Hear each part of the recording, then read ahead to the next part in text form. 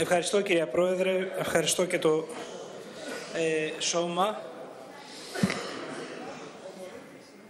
Νομίζω ότι το βασικό πρόβλημα της Νέας Δημοκρατίας, και συγγνώμη που ξεκινώ από αυτό, αλλά ανεβαίνω στο βήμα αμέσως μετά τον κύριο Χαρακόπουλο, είναι ότι έχει εγκλωβιστεί σε μία γραμμή η οποία θα την οδηγήσει να πάει στις εκλογές του Σεπτεμβρίου του 2019, ζητώντας από το λαό να της ζητήσει συγγνώμη που την καταψήφισε σε αλλεπάλληλες εκλογικές αναμετρήσεις.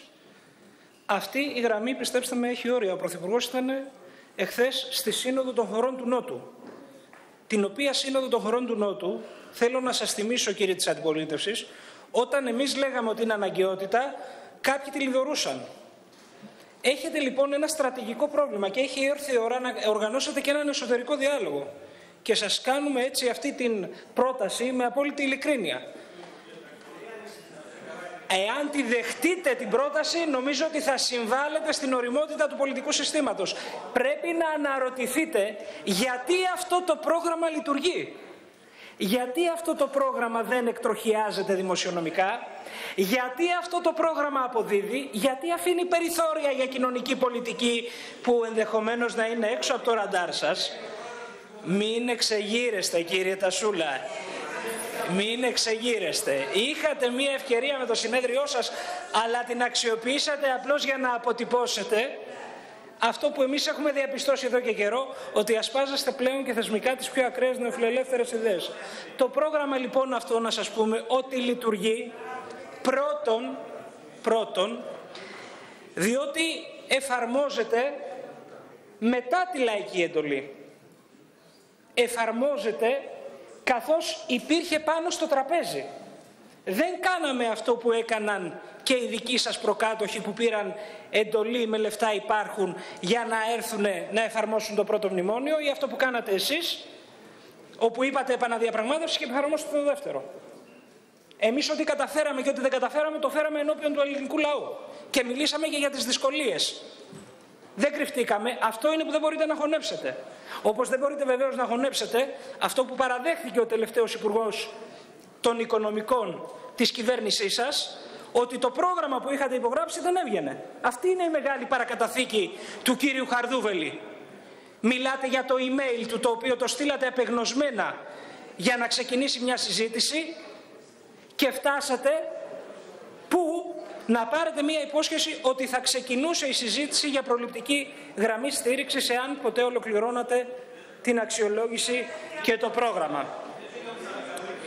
Και βεβαίως μας κατηγορείτε, μας κατηγορείτε για τη διαπραγμάτευση την οποία κάναμε, αλλά πρέπει να ξέρετε κι εσείς, όπως γνωρίζει ο ελληνικός λαός, ότι αν εμείς καλούμασταν να υπηρετήσουμε όπως μας καλούσατε κάθε μέρα τη συμφωνία την οποία εσείς είχατε υπογράψει, με τα πλεονάσματα του 4,5% δεν θα είχαμε καμία δυνατότητα να ασκήσουμε την κοινωνική πολιτική την οποία έχουμε αυτή τη στιγμή τη δυνατότητα να ασκούμε και δεν μιλάω βέβαια για τις μεταρρυθμίσεις στο δημόσιο, όπου έχετε και εσείς και ο αρχηγός σας ειδικά, ο πιο αποτυχημένος Υπουργός Διοικητικής Ανασυγκρότησης, το μεγαλύτερο αρνητικό ρεκόρ.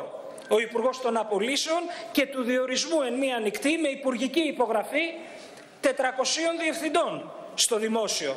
Δεν θα σας πέρναγε ποτέ από το μυαλό να κάνετε την πάρα πολύ σημαντική μεταρρύθμιση την οποία εμείς έχουμε φέρει, όπως δεν θα σας πέρναγε βεβαίως από το μυαλό να αναπτύξετε το κοινωνικό εισόδημα αλληλεγγύης ή να έχετε μία μέρημνα και πολιτική για το παιδί όπως αυτή που ανέπτυξε η Θεανό Φωτίου στις αλλεπάλληλες συνεδριάσεις και βεβαίως μεταρρυθμίσεις στο δημόσιο που αφορούν και επιτρέψτε μου εδώ έτσι έναν πατριωτισμό χαρτοφυλακίου που αφορούν την ψηφιοποίηση του δημοσίου. Θα είμαστε σε θέση τις επόμενες ημέρες να κάνουμε πάρα πάρα πολύ σημαντικές ανακοινώσεις.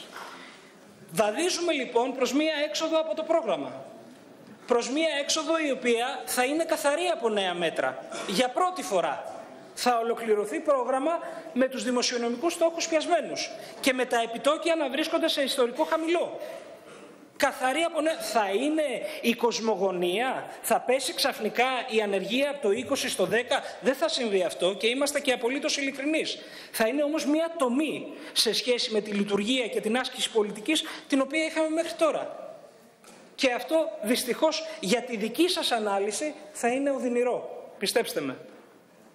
Η ανεργία θα συνεχίσει να πέφτει και όταν θα έρθει η ώρα να κάνουμε ταμείο, ο ελληνικός λαός θα έχει να διαλέξει ανάμεσα στην παράταξη που έβγαλε τη χώρα από τα μνημόνια και σταθερά τη βγάζει από την κρίση και γιατρεύει τις πληγές της, και την παράταξη που τη βήθησε στην πιο βαθιά κοινωνική και οικονομική κρίση που είχε στη μεταπολίτευση. Και όπως ακριβώς οι πληγές της μεγάλης κρίσης γιατρεύονται, μπαίνει και μια κανονικότητα και νομιμότητα στο χώρο της ενημέρωσης. Επιτρέψτε μου μια παρέκβαση. Σήμερα είχαμε την κατάθεση των φακέλων στο Εθνικό Συμβούλιο Ραδιοτηλεόρασης για την διαδικασία της αδειοδότησης η οποία τρέχει. Είναι ένα θετικό βήμα ότι ολοκληρώθηκε απολύτως ομαλά. Θέλω και από αυτό το βήμα να πω ότι η στελέχωση του Εθνικού Συμβουλίου Ραδιοτηλεόρασης έδειξε ότι σε λίγους μήνες μπόρεσε να κάνει όσα δεκαετίες και σκοπίμως δεν έκαναν οι προκάτοχοι και νομίζω ότι αποδείχθηκε πως όταν υπάρχει πολιτική βούληση και αξιοσύνη από τους θεσμικούς παράγοντες όλα μπορούν αυτά τα πράγματα να λυθούν. Ερχόμαστε λοιπόν αυτή τη στιγμή να συζητήσουμε για την αδειοδότηση του ραδιοφώνου. Ξεκινάω αμέσως και μπαίνω στην ουσία των ζητημάτων τα οποία έχουν αναδειχθεί μέσα από τη συζήτηση για να πω ότι είναι μια διαδικασία η οποία δεν θα εφαρμοστεί με τη μέθοδο σοκ και δέος. Είναι μια διαδικασία η οποία θα επισυμβεί πάρα πολύ ήρεμα, θα επισυμβεί σταδιακά και θα διασφαλίσει ότι έχουμε πάρα πολύ μεγάλη χωρητικότητα η οποία θα διασφαλίζει και τους σταθμούς της Εκκλησίας στους οποίους αναφερθήκατε και τους δημοτικούς σταθμούς βεβαίως. Θέλω να σας παραθέσω δύο αριθμούς. Στην Ευρώπη η ραδιοφωνική σταθμή είναι 12.500 συνολικά. Στην Ελλάδα είναι 1.000. Αντιλαμβάνεστε λοιπόν ότι εάν μία φορά το τοπίο το, το τηλεοπτικό ήταν άναρχο, το τοπίο το ραδιοφωνικό είναι πολλαπλώς άναρχο. Αλλά θέλω με την ευκαιρία αυτής της τοποθέτησης να το πω καθαρά, να το ακούσουν όλες οι πτέρυγες της Βουλής και όσοι μας παρακολουθούν, η διαδικασία θα είναι σταδιακή, η χωρητικότητα είναι πάρα πολύ μεγάλη, μιλάμε για 60 με 70 σταθμούς αναπεριφέρεια, αλλά και τη δυνατότητα για πρώτη φορά αδειοδότησης πανελλαδικών ραδιοφωνικών σταθμών και συνεπώς ουδής πρέπει να ανησυχεί. Κυρίως δε, επειδή αυτή η παράταξη έχει δείξει ότι ξέρει να κρίνει και να νομοθετεί με κριτήριο την βέλτιστη αξιοποίηση του σπάνιου πόρου που λέγεται συχνότητες. Να μην ανησυχούν οι ραδιοφωνικοί σταθμοί οι οποίοι δημιουργούν απασχόληση, έχουν πρόγραμμα και έχουν ένα ξεχωριστό κοινωνικό ρόλο ο οποίος βεβαίως δεν μπορεί να μπει ως διακριτική μεταχείριση εκ των προτέρων, αλλά μπορούμε με διαβούλευση στην πορεία της διαδικασίας για την αδειοδότηση να συζητήσουμε πώς όλα αυτά τα πράγματα θα διασφαλιστούν. Έρχομαι να πω γιατί μου έκανε και την σχετική υπόμνηση ο Υπουργός των Οικονομικών ότι αναφέρθηκαν κάποιοι βουλευτές της αντιπολίτευσης ότι δεν είναι στα προαπαιτούμενα η αδειοδότηση των ραδιοφώνων. Είναι απολύτως ψευδές. Δεν μπήκε παρεπιπτόντος είναι απολύτως τα προαπαιτούμενα, αφορά την τρίτη εργαλειοθήκη του ΟΣΑ και είναι στη σελίδα 26 της συμφωνίας την οποία κάνουμε, η οποία ακριβώς περιλαμβάνει και άλλα πράγματα τα οποία είναι έξω από τα δικά σας ραντάρ, την ολοκλήρωση του χάρτη συχνοτήτων για το ψηφιακό ραδιόφωνο και βεβαίως τη διεξαγωγή διαγωνισμού για τον πάροχο δικτύου για το ψηφιακό ραδιόφωνο, πράγματα τα οποία θα γίνουν άμεσα με την στελέχωση της Εθνικής Επιτροπής Τηλεπικοινωνιών, επειδή η θητεία της προηγούμενης έληξε, η οποία γίνεται αυτές τις ημέρες. Άρα, νομίζω, ολοκληρώνω, κυρία Πρόεδρε, θα ε, πω πάρα πολύ σύντομα ότι υπάρχουν στο σχέδιο νόμου και τα κολλήματα και οι ασυμβίβαστες ιδιότητες ούτως ώστε να υπάρχει διαφάνεια των πόρων και να διασφαλίζεται η πολυφωνία και ο πλουραλισμός.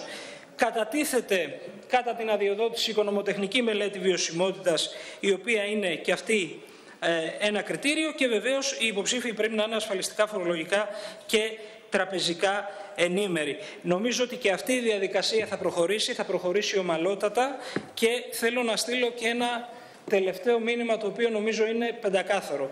Τις αντοχές και την υπομονή αυτής της παράταξης, αυτής της κυβερνητικής πλειοψηφίας και των ανθρώπων της, να μην τις υποτιμάει κανένας, διότι θα πηγαίνει από διάψευση σε διάψευση. Ευχαριστώ πολύ.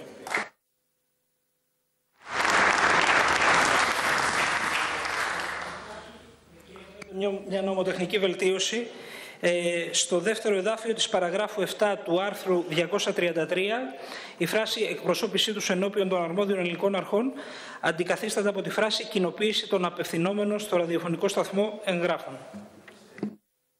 Συνεχίζουμε τώρα με τον κύριο Καράογλου για τέσσερα λεπτά και να ετοιμάζεται μετά ο κύριος Φορτσάκης.